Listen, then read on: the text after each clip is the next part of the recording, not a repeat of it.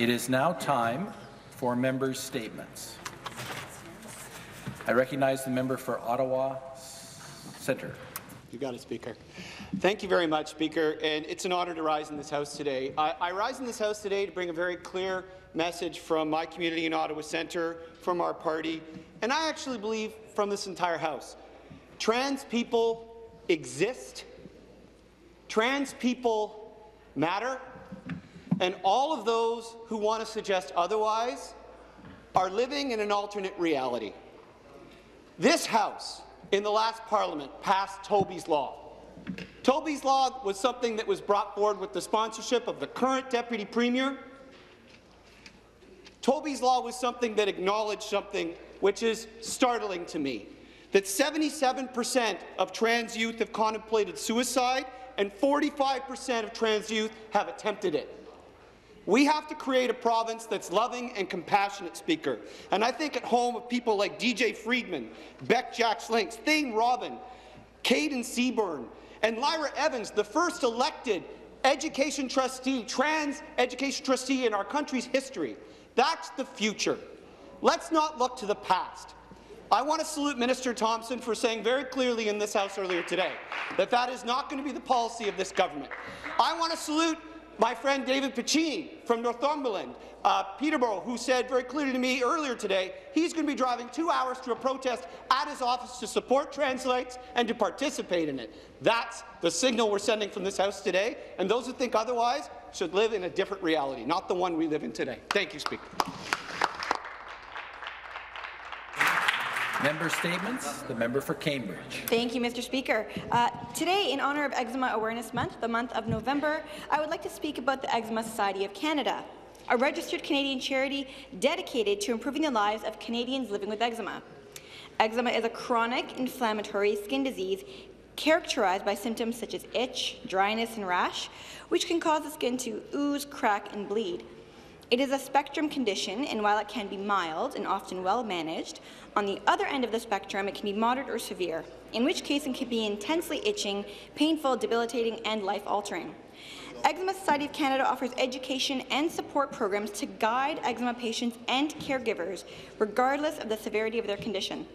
They also educate Canadian healthcare providers to improve eczema care in Canada and in the past two years has provided certified or accredited continuing med medical education programming to over 8,000 healthcare, pro healthcare providers across Canada.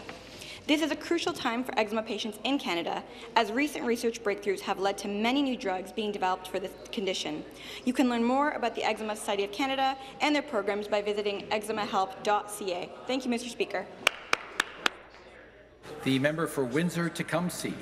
Uh, thank you, Speaker. We aren't wearing our poppies anymore, but we are still in the month of remembrance. So with that in mind, I'd like to put on the record a poem written recently by George Elliott Clarke. He's a former Canadian Parliamentary Poet Laureate and a former Poet Laureate of Toronto. Acadia University in Nova Scotia asked Mr. Clarke to write an alternative poem to the one we all know in Flanders Fields. Here's his poem, an armistice at last. That great war, that war to win war, didn't. Thus, every November the 11th at 11 a.m., ardent and strident as bagpipes, we pray, baying just for that, peace at last, and a peace that lasts.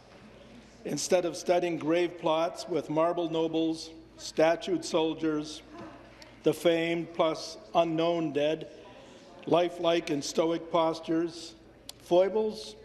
Nay, their heroics rendered them lifeless, then deathless. Now they gesture and beckon, new gallants to new fronts and success at killing or dying.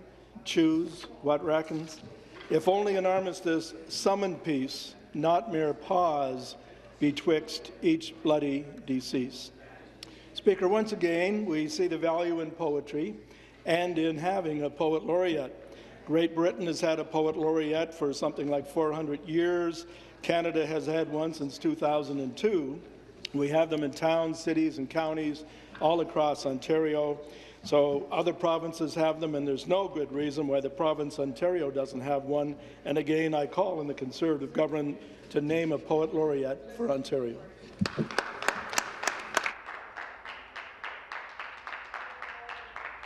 Member statements. The member for Niagara West. Thank you, Speaker. Um, hospice palliative care members are here today visiting Queens, Queen's Park, and they're here to talk about something no one really likes to talk about. They're here to talk about dying. It's truly the elephant in the room. We don't want to talk about it, but it's the one thing that we all have in common. We're all going to die, and we're all going to lose loved ones. Very few of us, though, Speaker, will die suddenly. In fact, 97% of Canadians will know when the end of life is coming, and they will need care. They'll need medical, spiritual, physical, psychological, social, and many other types of supports. That's what hospice palliative care is. It's holistic care to help us all live as well as possible to the natural end of life. And that can often happen, happen at home or in residential hospice. Speaker, we need more hospice palliative care here in the province of Ontario, and that's why I'm proud to say that my private member's bill, which was supported unanimously in this House, the Compassionate Care Act, has passed second reading and provides for a framework and reporting timelines to help us meet the inevitable demand for care. I want to encourage all members in this House to welcome the compassionate care workers for their communities and thank them for all they do, because nothing else matters when the elephant is in the room. Thank you.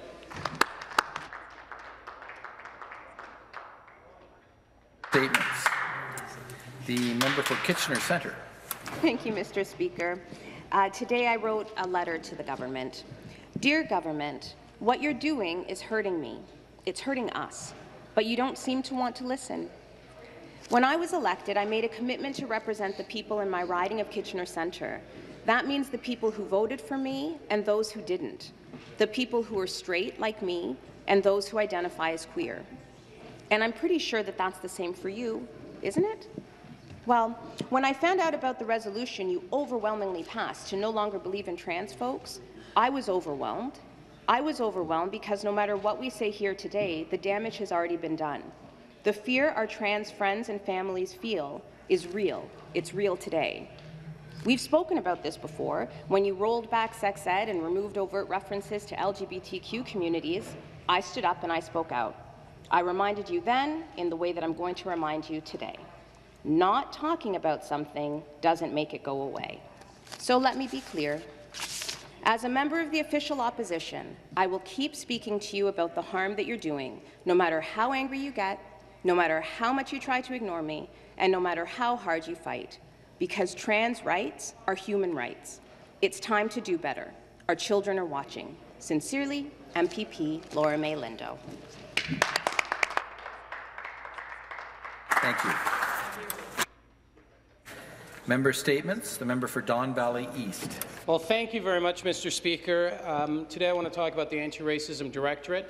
It's been uh, roughly half a year since uh, Doug Ford and the Conservatives were elected into power in this province, and um, uh, I want to bring up the fact that we still don't know what the status is of the Anti-Racism Directorate. Uh, Mr. Speaker, in 2016, uh, in February, we established the Anti-Racism Directorate. We had 10 public meetings across the province. A strategic plan was put forward in March of, that, of 2017. And we also passed the Anti-Racism uh, Act in 2017, June 1st, and an annual conference was held uh, that year. Um, the first anti-black uh, racism strategy was put forward in December of 2017, and the OPS followed up with an anti-racism policy in February of 2018. And the standards, the anti-racism standards, were established on April 23, uh, 2018.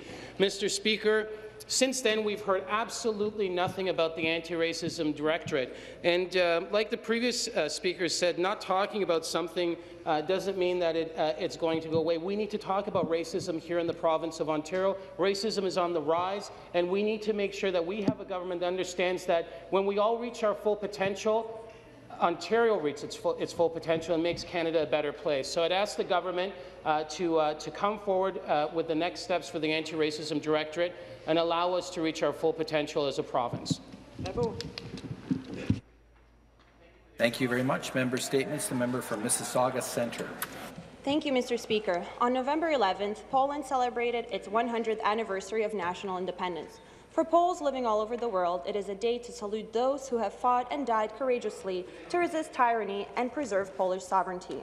On November the 8th, I was honored to commemorate this historic day by co-hosting a flag-raising ceremony and nonpartisan reception with Mr. Krzysztof Grzelczyk, Consul General of the Republic of Poland, alongside my colleagues, the member from Etobicoke Centre and the member from Humber River Black Creek.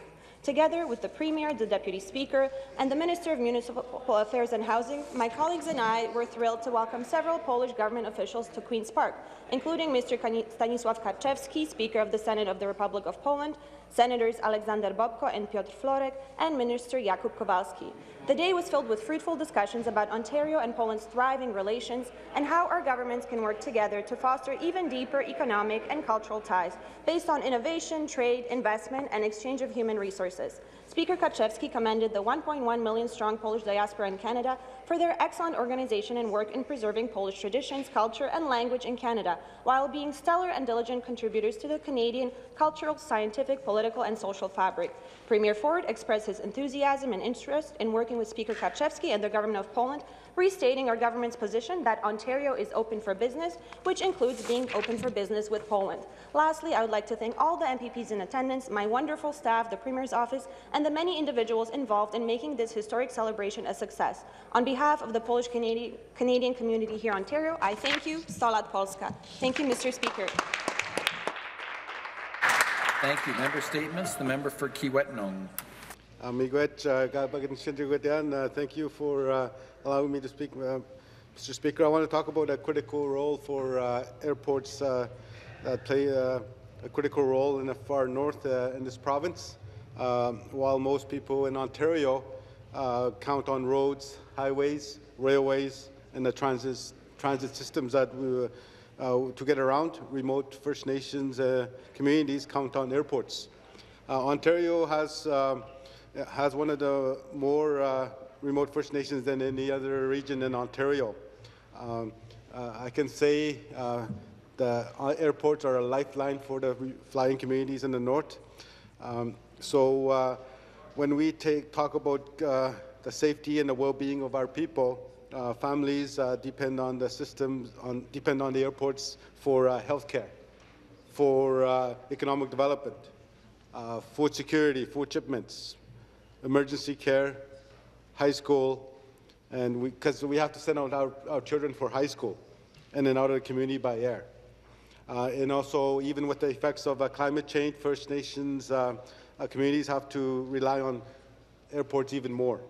As I said before, uh, like warmer climates mean that there's a uh, shorter season of ice roads and uh, miigwech. Thank you very much. Member statements. The member for Mississauga Lakeshore. Mr. Speaker, Mississauga Lakeshore is home to many great businesses that support Ontario families and provide good, well-paying jobs supporting local economy. Last Friday, I had the pleasure to visit one of these businesses. Hatch was founded in the GTA, but has grown into a global operation with just with projects in more than 150 countries and employs over 9,000 people worldwide. Hatch is an example of exploring Ontario's economic and local communities.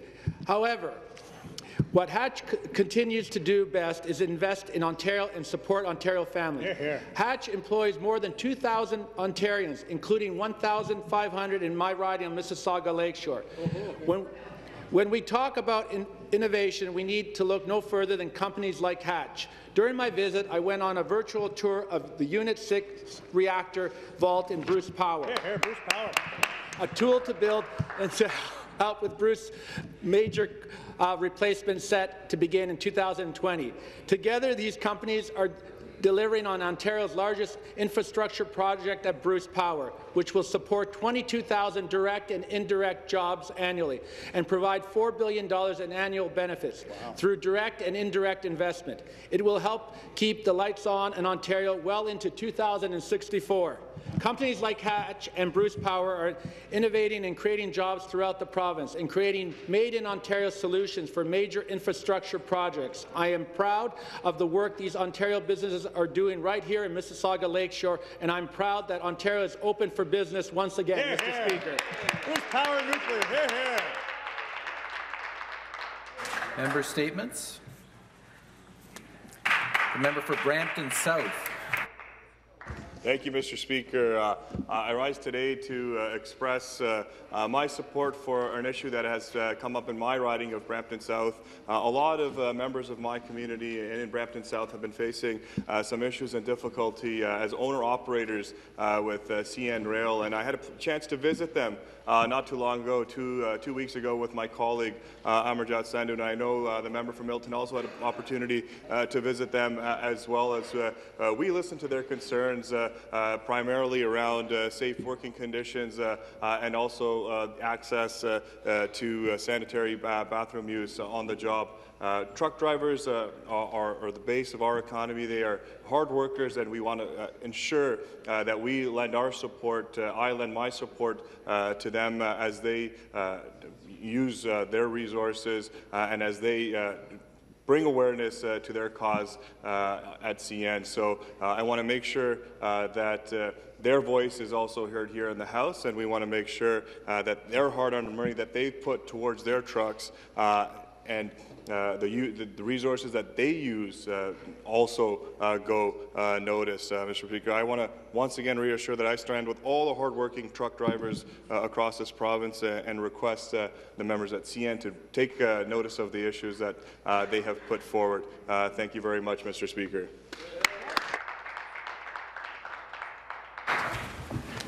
Pursuant to Standing Order 38A, the member for London North Centre has given notice of his dissatisfaction with the answer to his question given by the Minister of Education concerning changes to education curriculum. This matter will be debated tomorrow at 6 p.m. Reports by committees.